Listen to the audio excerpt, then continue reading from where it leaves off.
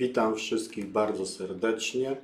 Dziś 14 odcinek działu Perły Kompozycji.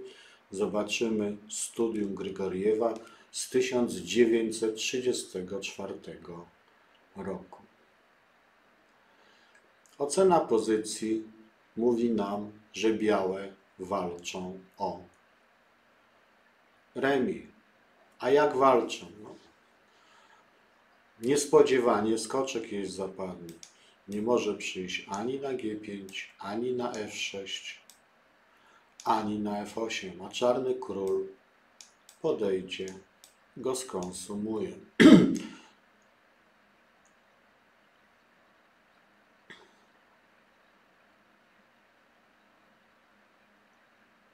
Jednakowoż nie wszystko jest takie proste.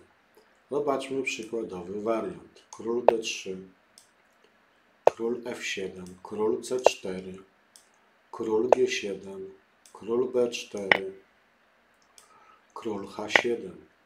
Powstała końcówka pionkowa, jednakowoż pion jest bandowy i wystarczy, że biały król dojdzie tu na jedno z dwóch pól F1, F2 i partia zakończy się remisem. To idziemy. Czarny król próbuje nie puścić, ale chyba nie zdąży. Chyba mu sporo brakuje, żeby nie zdążyć. Stąd widzimy, że wygrać skoczka nie jest dobrze, bo nie oznacza to wygrania partii. Trzeba tego skoczka wygonić. Biały idzie konsekwentnie w tym kierunku. Król F7. Trzeba skoczka wygonić i uruchomić piona. Czy skoczek dogoni piona? No jak może dogonić piona? Kiedy król będzie mu cały czas przeszkadzał. I gdzie odejść królem? No, jak odejdziemy królem gdzieś na G5, to skoczek pójdzie na E6. Idziemy królem, odcinamy mu technicznie pola. Takie ustawienie króla względem skoczka nazywamy technicznym, bo go ogranicza. Bicie piona nie ma sensu. Idziemy, próbujemy skoczkiem gonić. A się uda. H5. A się uda. Tu widzimy, że białe figury muszą podzielić zadania. Skoczek będzie walczył z pionkiem H, król będzie walczył z pionkiem B. H4 skoczek goni. Tylko tędy. W tę stronę nie da rady.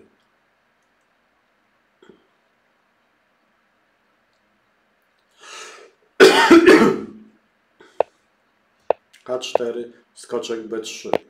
Gdyby skoczek poszedł na D3, to po H3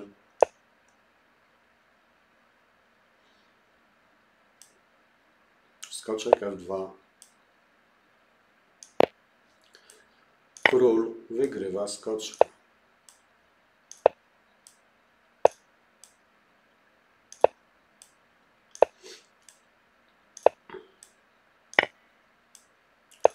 I biały nie zdąży zablokować czarnego króla. Dlatego skoczek idzie okrężną drogą na B3.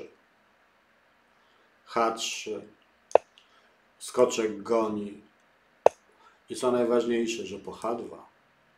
Tu trzeba wiedzieć, że jeżeli skoczek stanie na H2, to końcówka jest remisowa. Król nie może wygonić skoczka, bo skoczek, jak już prawie jest wygoniony, odchodzi i nie można pchnąć piona z powodu widełek. Tę końcówkę omówię przy okazji komentowania końcówek skoczkowych. I skoczek napada na piona. Wobec tego pion musi iść do przodu. Dorabiamy hetmana i skoczek robi eleganckie widełki. Widzimy, że skoczek wykonał nieprawdopodobny raj przez całą szachownicę, obszedł ją dookoła i dogonił pionka czarnego i białe zremisowały. To, to, to remi nie jest takie proste. Jednakowoż mogę przy okazji odpowiedzieć na pytanie, po co pokazuję studia. Ja nie pokazuję zwykłych studiów, ja pokazuję studia z małą liczbą bierek na szachownicy. One mają dzięki temu wartość teoretyczną, uczą końcówek, bo takie pozycje mogą się zdarzyć w partii.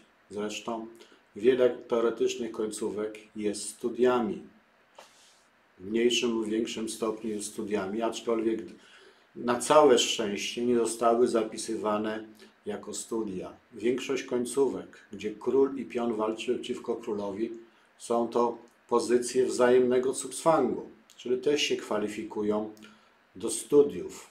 I znowu na szczęście nie są studiami, bo byśmy mieli problem z nazewnictwem, bo różni szachiści w różnym czasie wymyślali studia.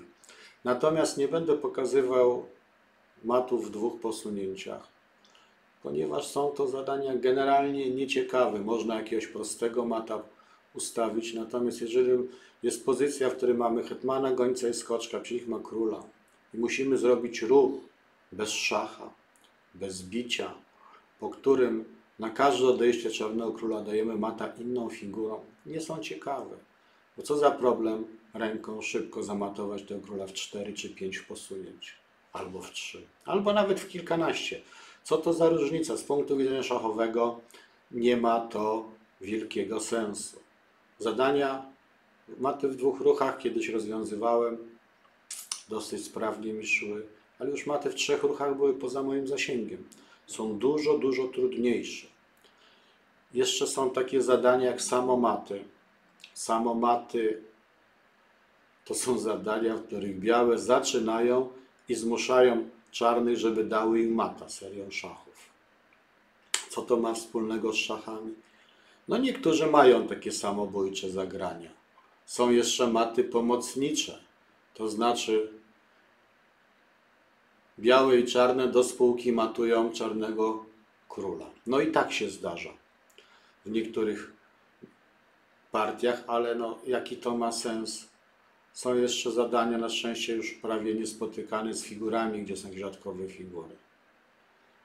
Także studia, które wybieram, mają walory teorii gry końcowej i mają walory estetyczne. I jeszcze pomagają doskonalić liczenie, wariantów, ponieważ obie strony wykonują serię najlepszych, najsilniejszych posunięć. Żeby rozwiązać studium, musimy taką serię posunięć znaleźć. Dziękuję wszystkim za uwagę.